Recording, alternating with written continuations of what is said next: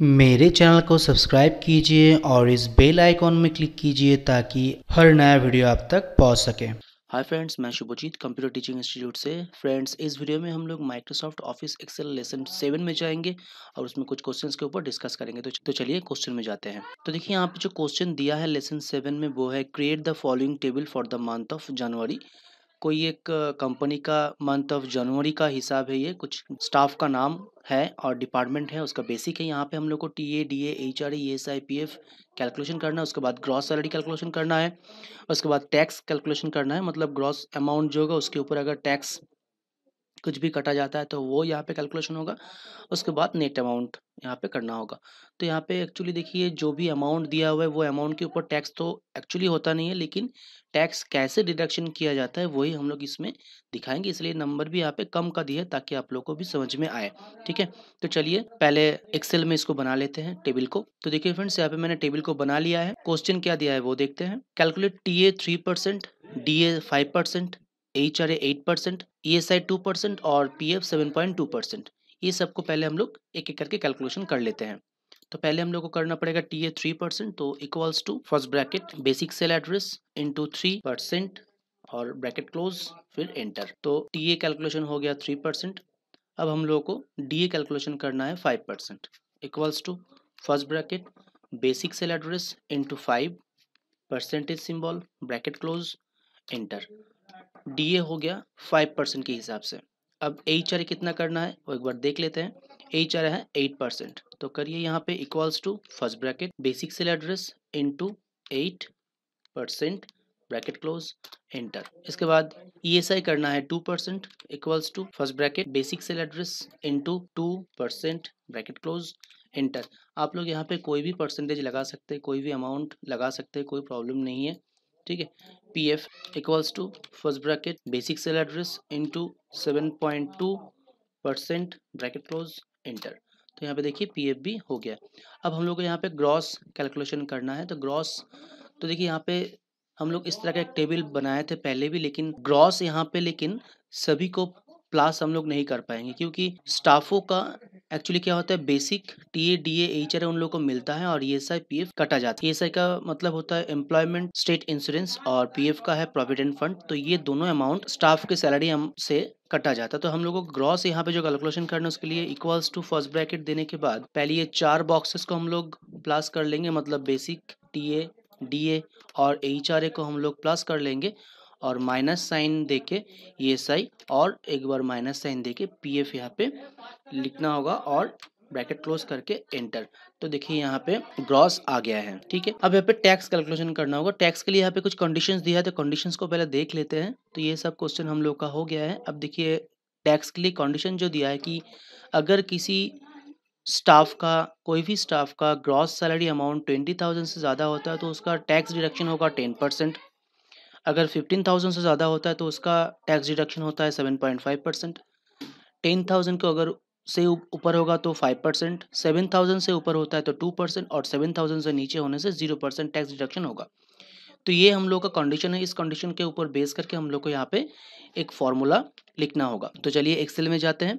पहले हम लोग का है ट्वेंटी थाउज़ेंड के अगर ऊपर होता है तो टेन परसेंट टैक्स कटा जाएगा। तो उसके लिए हम लोग लिखेंगे equals to E first bracket gross salary के ऊपर होगा तो gross salary greater than twenty thousand, यहाँ पे लिखना होगा, comma, gross salary amount into ten percent. इसका मतलब हुआ, अगर gross salary amount twenty thousand से ज़्यादा होता है तो ग्रॉस के ऊपर टेन परसेंट टैक्स डिडक्शन होगा। मतलब यहाँ पे हिसाब होगा, ठीक है? डिडक्शन अभी नहीं हो रहा, डिडक्शन तो हम लोग खुद से करेंगे, यहाँ पे बस कैलकुलेशन हो रहा है। कॉमा फिर से इफ़ फ़र्स्ट ब्रैकेट फिर से लिखना होगा आई टू मतलब ग्रॉस सैलरी अमाउंट अगर फिफ्टीन थाउज़ेंड से ज़्यादा होता है तो आई टू के ऊपर कितना चार्ज किया जाएगा? एक बार देख लेते हैं टेन परसेंट था पहले का, इसका है सेवन पॉइंट फाइव तो यहाँ पे हम लोग को क्या लिखना पड़ेगा?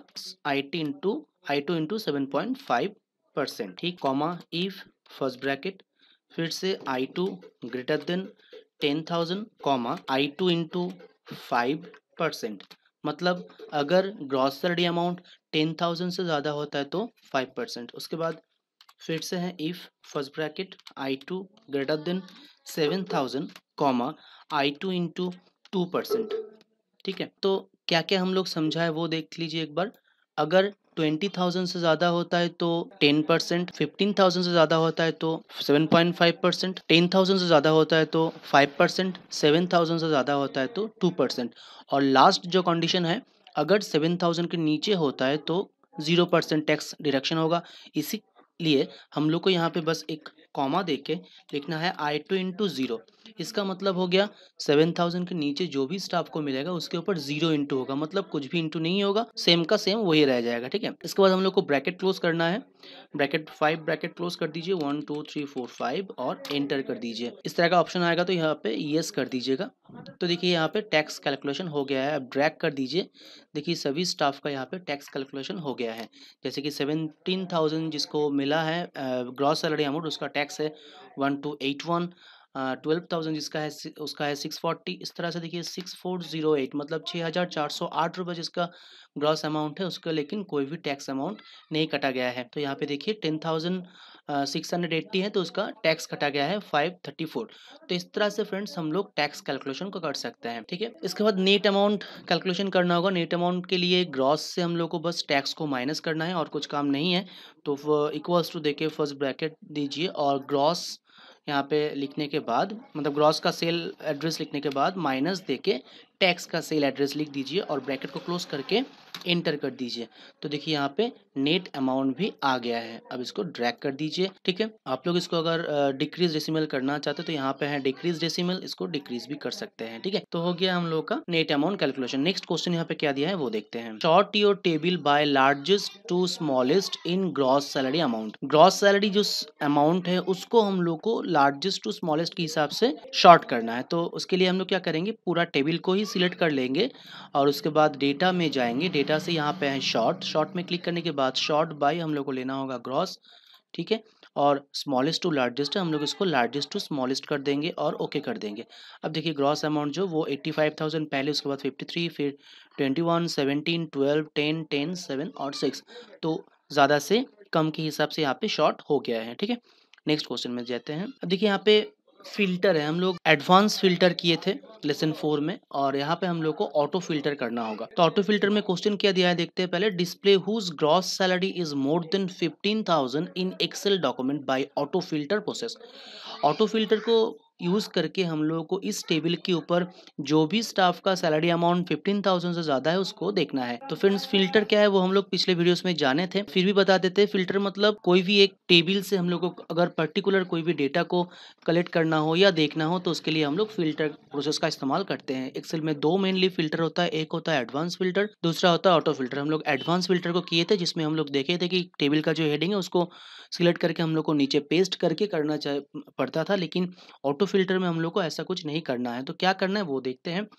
ऑटो फ़िल्टर करने के लिए पहले आपको टेबल का हेडिंग को सिलेक्ट कर लेना है और डेटा टैब से बस फ़िल्टर में क्लिक करना है। फ़िल्टर में क्लिक करते देखिए सभी फ़ील्ड के साइड में एक करके लिस्ट पॉइंट जैसा आ गया है। इसी से हम लोग को सारा काम करना है। तो फ़र्स्ट क्वेश्चन हम लोग को जो दिया गया है कि ग्रॉस अगर किसी भी स्टाफ का फिफ्टीन थाउज़ेंड से ज़्यादा होता है तो उसको हम लोग देखना चाहते हैं।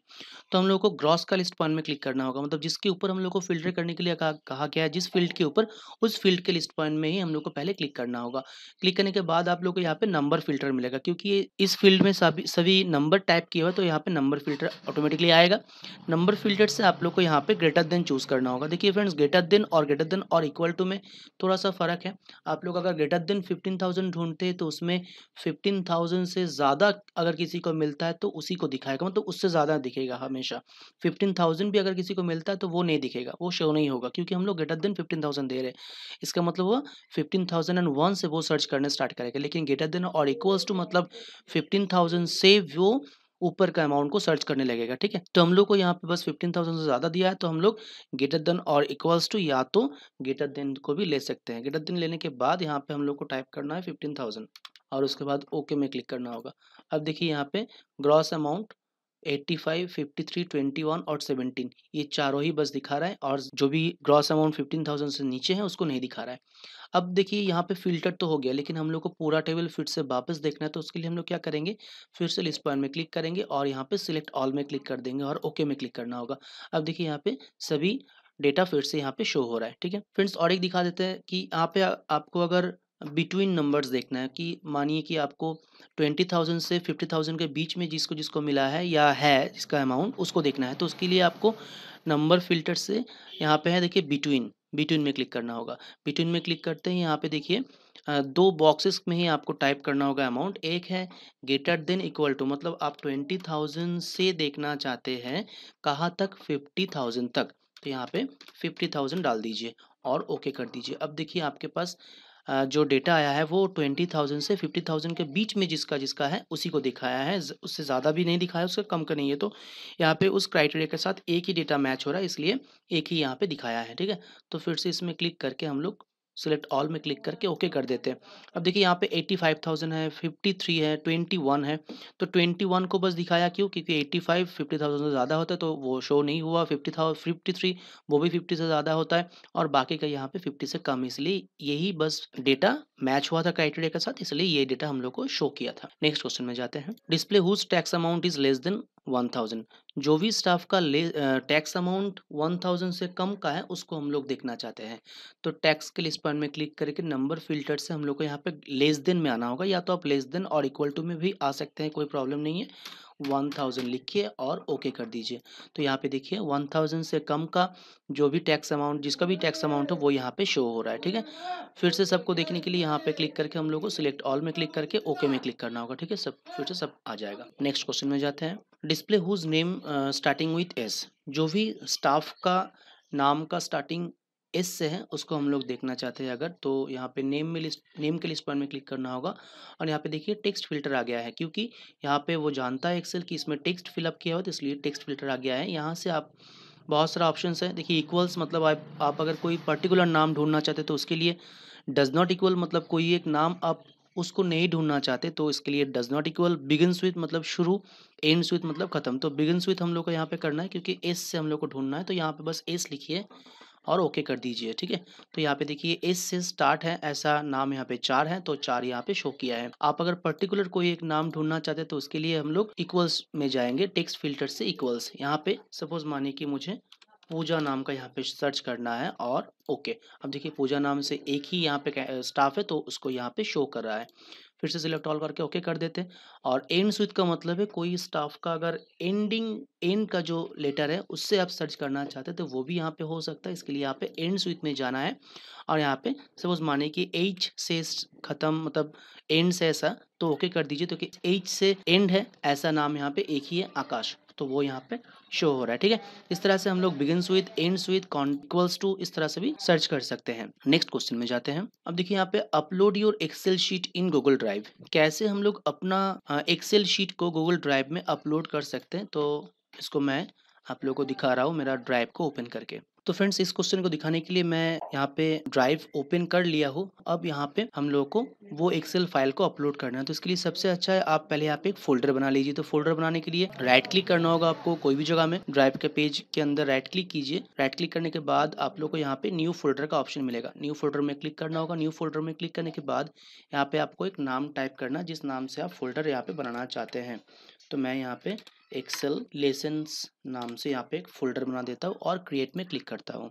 तो यहाँ पे देखिए फोल्डर बन गया होगा। ये देखिए यहाँ पे एक्सेल लेसन्स आ गया है। इसको डबल क्लिक करके ओपन करना है। डबल क्लिक करके ओपन करने के बाद यहाँ पे जो आपको पेज मिल रहा है या जगह मिल रहा है, यहाँ पे उस फ़ाइल को अपलोड करना। तो पहले क्या करना होगा, ये जो फ़ाइल आपका खुला हुआ है, इसको पहले आप सेव करके इसको बंद कर दीजिए। तो मेरा एक्सेल लेसेंस नाम से ये सेव है और इसको मैं क्लोज कर देता हूँ। क्लोज हो गया। अब उस फ़ाइल को मुझे यहाँ पे अपलोड करना है। तो आपको ये चीज़ जानना होगा कि वो फ़ाइल कहाँ पे स्टोर है आपका। उसके बाद राइट क्लिक कर लीजिए आप ड्राइव के पेज के ऊपर और यहाँ से अपलोड फाइल्स में क्लिक करिए। अपलोड फाइल्स में क्लिक करने के बाद यहाँ पे आपको ब्राउज का विंडो मिलेगा, जहाँ से आपको ब्राउज करना पड़ेगा कि कहाँ पे आपका वो फ़ाइल है तो मेरा जैसे ये है एक्सेल लेसन्स इसके ऊपर क्लिक करके ओपन में क्लिक कर देते हैं। अब देखिए यहाँ पे अपलोड वन आइटम यहाँ पे दिखा रहा है मतलब एक आइटम अपलोड हो रहा है, देखिए अपलोड हो गया है। अब इसको आप क्लोज कर दीजिए, ठीक है?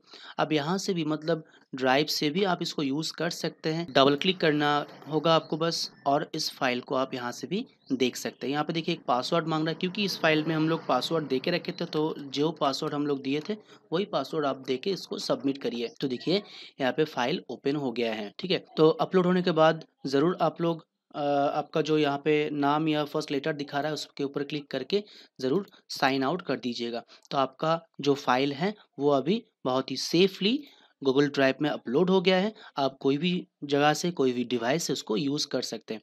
तो फ्रेंड्स यहाँ तक हम लोग का एक्सेल सिलेबस में मतलब लेसन सेवन तक ही था। हम लोग पूरा आप लोग को सभी वीडियोस में लेसन सेवन तक कंप्लीट कर दिए हैं। आशा करता हूँ आप लोग को सभी लेसन्स और आज का जो लेसन हम लोग दिखाए लेसन नंबर सेवन उसका सभी क्वेश्चन समझ में आया होगा।